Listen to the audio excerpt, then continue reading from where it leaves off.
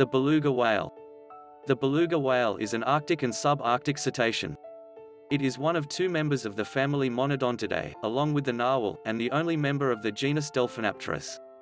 It is also known as the white whale, as it is the only cetacean of this color, the sea canary, due to its high-pitched calls, and the melonhead, though that more commonly refers to the melon-headed whale, which is an oceanic dolphin. The beluga is adapted to life in the Arctic, so it has anatomical and physiological characteristics that differentiate it from other cetaceans. Amongst these are its all-white color and the absence of a dorsal fin, which allows it to swim under ice with ease. It possesses a distinctive protuberance at the front of its head which houses an echolocation organ called the melon, which in this species is large and deformable. The beluga's body size is between that of a dolphin and a true whale, with males growing up to 5.5 meters long and weighing up to 1,600 kilogram. This whale has a stocky body. Like many cetaceans, a large percentage of its weight is blubber. Its sense of hearing is highly developed and its echolocation allows it to move about and find breathing holes under sheet ice. Belugas are gregarious and form groups of 10 animals on average, although during the summer, they can gather in the hundreds or even thousands in estuaries and shallow coastal areas. They are slow swimmers, but can dive to 700 meters below the surface. They are opportunistic feeders and their diets vary according to their locations and the season. The majority of belugas live in the Arctic Ocean and the seas and coasts around North America, Russia and Greenland. Their worldwide population is thought to number around 150,000. They are migratory and the majority of groups spend the winter around the Arctic ice cap. When the sea ice melts in summer, they move to warmer river estuaries and coastal areas. Some populations are sedentary and do not migrate over great distances during the year. Belugas are one of the most commonly kept cetaceans in captivity and are housed in aquariums, dolphinariums and wildlife parks in North America, Europe and Asia. They are popular with the public due to their color and expression. Description its body is round, particularly when well fed, and tapers less smoothly to the head than the tail.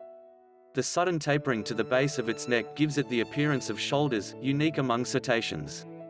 The tail fin grows and becomes increasingly and ornately curved as the animal ages. The flippers are broad and short, making them almost square-shaped. Longevity Preliminary investigations suggested a beluga's life expectancy was rarely more than 30 years. The method used to calculate the age of a beluga is based on counting the layers of dentin and dental cement in a specimen's teeth, which were originally thought to be deposited once or twice a year. The layers can be readily identified as one layer consists of opaque dense material and the other is transparent and less dense. It is therefore possible to estimate the age of the individual by extrapolating the number of layers identified and the estimated frequency with which the deposits are laid down. A 2006 study using radiocarbon dating of the dentin layers showed the deposit of this material occurs with a lesser frequency once per year than was previously thought. The study therefore estimated belugas can live for 70 or 80 years. However, recent studies suggest that it is unclear as to whether belugas receive a different number of layers per year depending on the age of the animal, or simply just one layer per year or every other year. Size the species presents a moderate degree of sexual dimorphism, as the males are 25% longer than the females and are sturdier. Adult male belugas can range from 3.5 to 5.5 meters, while the females measure 3 to 4.1 meters. Males weigh between 1,100 and 1,600 kilograms, and occasionally up to 1,900 kilograms while females weigh between 700 and 1,200 kilograms. They rank as mid-sized species among toothed whales. Color The adult beluga is rarely mistaken for any other species, because it is completely white or whitish-gray in color. Calves are usually born gray, and by the time they are a month old, have turned dark gray or blue-gray. They then start to progressively lose their pigmentation until they attain their distinctive white coloration, at the age of 7 years in females and 9 in males. The white coloration of the skin is an adaptation to life in the Arctic that allows belugas to camouflage themselves in the polar ice caps as protection against their main predators, polar bears and killer whales. Unlike other cetaceans, the belugas seasonally shed their skin. During the winter, the epidermis thickens and the skin can become yellowish, mainly on the back and fins. When they migrate to the estuaries during the summer, they rub themselves on the gravel of the riverbeds to remove the cutaneous covering. Head and neck, Like most toothed whales, it has a compartment found at the center of the forehead that contains an organ used for echolocation called a melon, which contains fatty tissue. The shape of the beluga's head is unlike that of any other cetacean, as the melon is extremely bulbous, lobed and visible as a large frontal prominence. Another distinctive characteristic it possesses is the melon is malleable, its shape is changed during the emission of sounds. The beluga is able to change the shape of its head by blowing air around its sinuses to focus the emitted sounds. This organ contains fatty acids, mainly isovaleric acid and long-chain branched acids, a very different composition from its body fat, and which could play a role in its echolocation system. Unlike many dolphins and whales, the seven vertebrae in the neck are not fused together, allowing the animal to turn its head laterally without needing to rotate its body. This gives the head a lateral maneuverability that allows an improved field of view and movement and helps in catching prey and evading predators in deep water. The rostrum has about 8 to 10 small, blunt and slightly curved teeth on each side of the jaw and a total of 36 to 40 teeth. Belugas do not use their teeth to chew, but for catching hold of their prey, they then tear them up and swallow them nearly whole. Belugas only have a single spiracle, which is located on the top of the head behind the melon, and has a muscular covering, allowing it to be completely sealed. Under normal conditions, the spiracle is closed and an animal must contract the muscular covering to open the spiracle.